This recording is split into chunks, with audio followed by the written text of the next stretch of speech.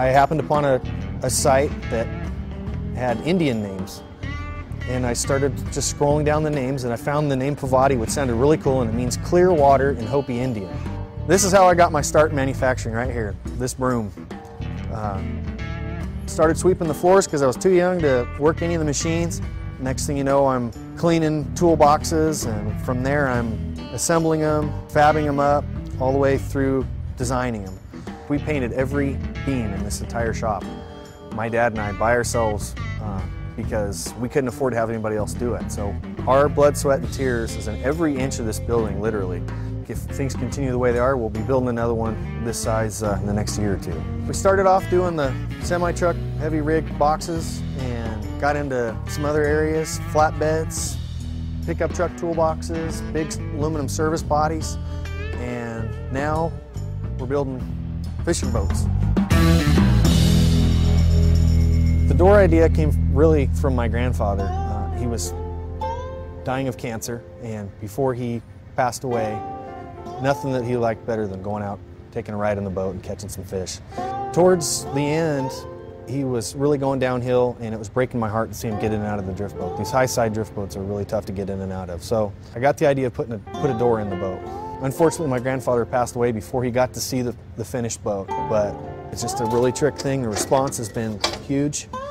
And you know, a lot of the guys that have time and money to go fishing are older people, so getting in and out of the boat is a, a big one. Before we even got started with the boats, before it was even a drawing on a computer or a napkin, we knew that we were going to be successful just because the attitude that we have and our work ethic. What makes it fun is getting together with two or three guys and bouncing ideas off and finally coming up with something that not only looks good, but works. Yeah, and sometimes it works even better than you originally imagined it would. Exactly. And that's really exciting. That's, yeah. You have a bar napkin with some scribbles on it. Come back to the shop, get the group together, and everybody starts throwing those ideas into a pot. And by the time you're done, you've got sketches on actual paper. Designing the door on the side of the boat was was very difficult. You have so many different shapes and angles, and the software is very delicate about that. Everything has to be on flat planes. Well, the side of a drift boat, there are no flat planes.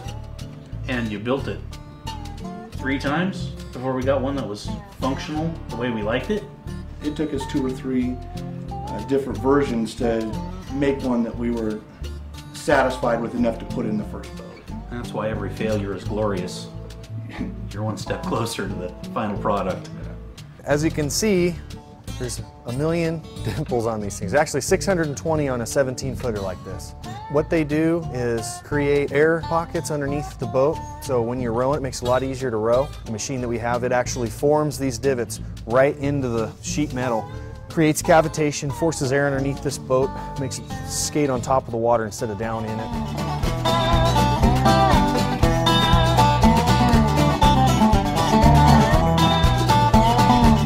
My favorite part to weld is typically anywhere up around this part up here because you can lay a nice smooth, really what I would call a pretty bead.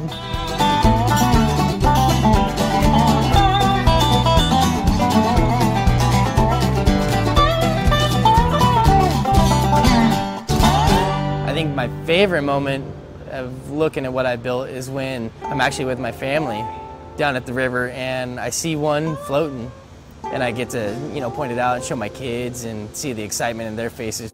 There's definitely a lot of pride that's involved because you're doing something that can't be done anywhere else. It's the not only is it the first time that it's been done, so it's something that's new and it's exciting, but it's something that can't be jobbed out.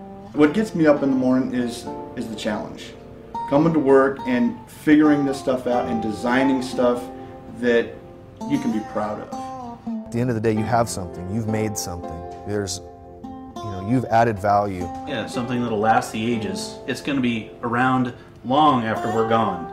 Yeah.